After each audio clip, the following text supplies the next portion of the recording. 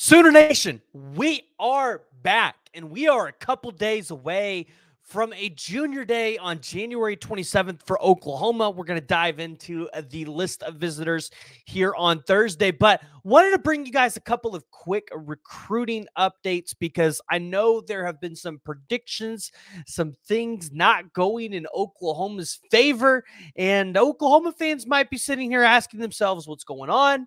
No need to fear. Oklahoma's got a lot going on.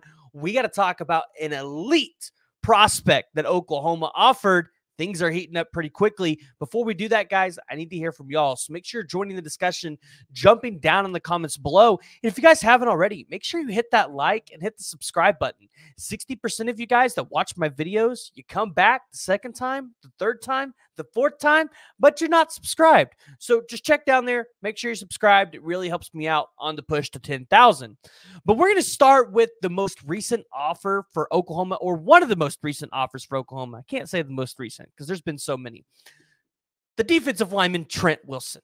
And this might be a new name for a lot of you guys. You might not be super familiar with it. And let me tell you, Trent Wilson at 6'3, 270 pounds, he's a dude. And he recently announced a top eight for Oklahoma. And you're looking at the list Florida State, Ohio State, Florida, Penn State, A&M, Maryland, Tennessee.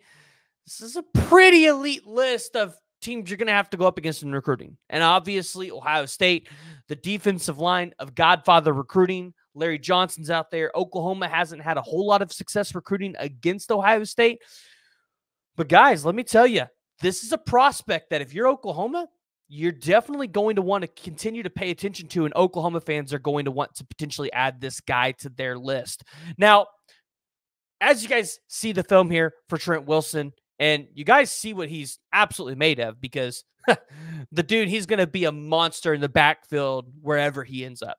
Uh, Trent Wilson is a guy from Upper Marlboro, Maryland. He's currently ranked as the number 110th player in the 247 composite rankings. On3 has him as the number 26th overall player, which would technically make him a five star. So, Oklahoma, they're getting in there. They're trying to push. And you would imagine that Trent Wilson's services, uh, they're going to be wanted by a lot of teams across the country. So uh, he transferred to St. Frances Academy ahead of his junior season. Uh, he was a max prep sophomore All American second team selection and helped St. John's to capture its second straight or second straight uh, WCAC title. And like I said, was recently offered on the 23rd by Oklahoma. So we talked about the defensive line class in 2025 just not being like the most elite of elite defensive line classes. It's not like super deep. But if you get a guy like this on campus and you compare him with what you've gotten in the 2024 class, as an Oklahoma fan, you would feel really, really good. You might be saying, Preston, why are you excited for Trent Wilson? If Oklahoma was just named in his top eight and just offered him, well, one, for that example, right? They just offered him on the 23rd and he just dropped his top eight, meaning Oklahoma made it in there with like days to spare before he dropped that top eight. Additionally, talking to a couple sources, he just recently started talking to the OU staff a couple of weeks ago, and he's already built a relationship, and it's pretty good relationship with Todd Bates. He's never been to Oklahoma, but he's going to be here on March 9th. And, you know, if you've been paying attention, that's going to be another date where Oklahoma tries to get several more 2025, maybe even some 2026 guys on campus. So we'll have to pay a little bit more attention there. But going on and looking at a couple more guys that you guys might have seen some predictions flow for, Deshaun Brame. And I know a lot of people are kind of scratching their head because there has been a lot of talk about maybe Oklahoma being in a really good position. Uh, he is the 6'6, 225 pound tight end out of Derby, Kansas. We're still digging a little bit into this one, but it is interesting to see that Oregon is going to be making a push. And I mean, Dan Lanning kind of being from this area of the United States of America, right? Being from this area, wanting to recruit it well. Oregon definitely has a need at tight end. You would imagine they'd probably want to take two out of this class. Uh, Deshaun Brame being one of the most highly coveted and highly touted tight ends in the country. Uh, Oregon's going to make a pretty big push there. So, additionally, you all saw Caden Knighton decommit from Vanderbilt. And this had a lot of Oklahoma fans excited because if you are familiar with Caden Knighton, we've had him here on the podcast, we've had the interview, we've looked at his film. Caden Knighton is actually a pretty versatile, uh, elite athlete, kind of flying under the radar, though, across the country because – he plays in Wynnewood, Oklahoma, which you feel like probably works against him more than it helps him. But dude's putting up big numbers out there. And he's got offers from USC, Vanderbilt, SMU. Uh, he's got offers from like UNLV, North Texas, UTSA, but he's also got some other Power Five offers like Michigan State, Colorado, Houston. So currently, at this exact moment, we're going to debunk this as I'm recording this video, currently on a Wednesday on January 24th he does not have an offer from Oklahoma.